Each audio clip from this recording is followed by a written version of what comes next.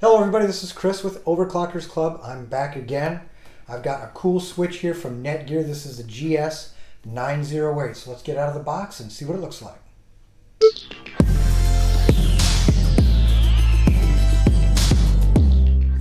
Now the GS908 has actually been out for about a year and a half, uh, not quite two years. It came out toward the end of 2017. But it's still worth taking a look at. Uh, before I open that up, this is one that I had been using. It actually went through a uh, thunderstorm and we lost a port, but the others seemed to work just fine. This is the GS105 and uh, you can still get these. They're around $50. But it started acting funny the other day and uh, it got really, really hot. Not just warm, it was hot. So I figured, you know, might be time for a new switch.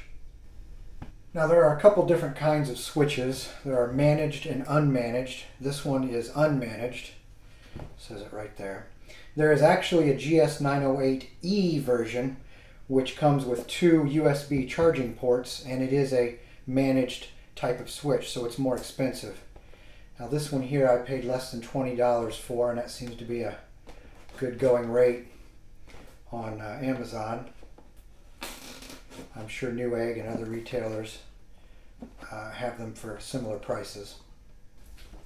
But an unmanaged switch will be plenty for the vast majority of people out there for home networks, even small office networks. A managed switch allows you to access the switch, get in there and change some settings, control the network traffic, monitor the network traffic.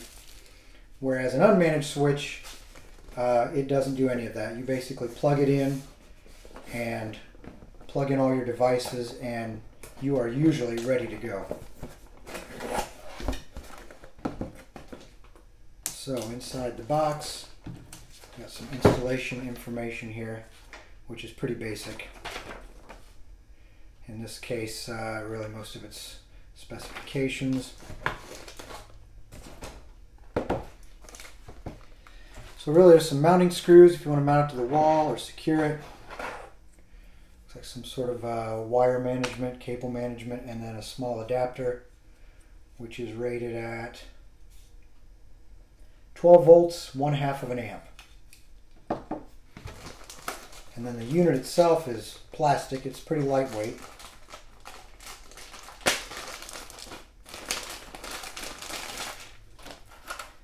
And there you go, it has protective plastic on the top. It's actually a more attractive switch than this is more of a utilitarian or kind of a sterile looking device, more industrial. Whereas this looks a little more home, quiet and unassuming on your desk. What I like about this one, one of the reasons I picked it, is the Ethernet ports.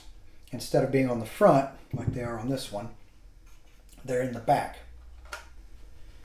And the reason I like that is if you have this up against the back of your table, you can bring your Ethernet cables in from the back and you can pretty much hide them. So I sort of like that ability. But there's the plug for the uh, power input. We do have a little on-off switch and it looks like there's a button here you can turn the LEDs off or on or it might just be the front light here if you want it completely completely dark. Now as far as performance, it's a gigabit switch as well as this. So assuming this one is still running, I really wouldn't expect to see any performance difference. Uh, I will go ahead and load this up with as much data going back and forth and see uh, if I notice any sort of lag. I really would be surprised if I did. All right, we got it powered up. You can see there's a nice little blue LED on the front. It doesn't flash or anything, it's just on to tell you that the unit is powered on. We have a very nice glossy finish across the top, and then we have a glossy or sort of a semi-gloss silver finish, or a metallic looking finish there. It is all plastic, the case and the covers and everything. Uh, on the bottom, if we look,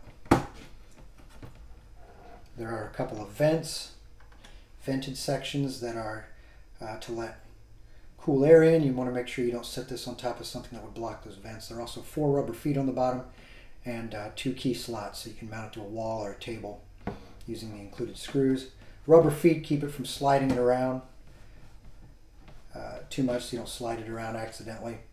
It's pretty firmly in place. Looking at the back here, a little back door flips up. And this is sort of the purpose of this one. This hides your cables. Keeps them all tucked away in the back. Activity lights there. There's a little legend at the top that tells you. If it's green, you got your gigabit connection. If it's yellow, you've got a 10100. And if it's blinking, there's activity. So there's stuff going on there. And this is my main line, my main internet coming in, and this is the line that goes over to the computer. Now we have these little notches here that are to tuck your cables into. And the smaller cable, the insulation is thin enough, it seems to tuck in there quite comfortably. It doesn't feel like it's being pinched. However, this cable, you can see it's considerably larger, the insulation's thicker, and it does not want to go into that groove, and I really don't feel like forcing it. I don't know that I would necessarily damage it. I just don't know if I really want to force it in there. And unfortunately, this piece cannot be removed, so if you didn't like it, you can't just pop it out. You're kind of stuck with it. And of course, your power cable is thin enough, it just falls right into the notch. The only problem with that is if I had all my cables that were this thickness, they would all fit in there just fine, close the lid. But with this extra thick, extra large cable, uh, the lid does not want to close unless I really jam that in there. So I'm not sure if I'm really comfortable with doing that. And for anyone concerned about power usage, you can see we've got uh, 3.1 watts maximum. So it uses very little electricity, just sips from the electrical outlet. And uh, I guess it is fanless, obviously. Uh, we got three year hardware warranty. And is there anything else interesting there? Not terribly. There is the, now again, this is the 908. There actually is a 908E and it has two USB charging port. So you can plug a couple devices in there and charge from it. Plus it is a managed switch and it uses a little more wattage there depending upon if it's being used to charge something or not. But that's the 908E and this is the GS908. Now the way to turn that LED off, if you like, is this little switch back here. You push this and it actually kills all of the LEDs, all of your Ethernet activity LEDs as well as the front power light. They all go off and then when you want them back on, now the system still works just fine, you're just killing the lights. You hit that and then everything comes back on. Alright, I got everything disconnected. I'll move this over to where all of my other Ethernet cables are, plug in several computers, move some data back and forth, and take a look at the transfer speeds. So I have the switch over here roughly where I'm going to locate it. Obviously I have some housekeeping to do with all the wires since this is in its new location. I have all the ports populated now. A couple computers are not on, that's why you don't see the lights flashing over there toward the one end. But uh, I've been moving data back and forth and I'm seeing numbers that are pretty consistent with other switches that I've got. I've been moving data back and forth here just to sort of get an idea of the speed, and this is pretty consistent with a gigabit switch. Most I've seen is about 113 megabytes, which is very close to a gigabit. And the more computers you have moving stuff back and forth, it of course eats into the bandwidth. And just for the heck of it, I'll get the old thermal camera out here and let's take a look and see there's a warm spot right in the center, so my guess is that's where the circuit board is. And the color difference just shows you that there's a temperature difference. It doesn't necessarily tell you what the temperature is. And when we look at the back side here with the little door open, you can see there's a little bit of warmth back there where all of the Ethernet cables plug in. But nothing, uh, nothing alarming. Now the thermal imaging was just to show you what it looked like. It doesn't really mean anything. Uh, it's just barely warm to the touch on top and it uses less than 4 watts, so it's not really going to get hot by any means. Anyway, overall performance, I'm really happy with it. Uh, I'm able to move data back and forth between multiple computers, uh, and you see speed increases and decreases depending upon how much data and bandwidth uh, each computer is using. So Uh, transfer speeds are really pretty consistent with what you would expect out of a gigabit uh, gigabit switch.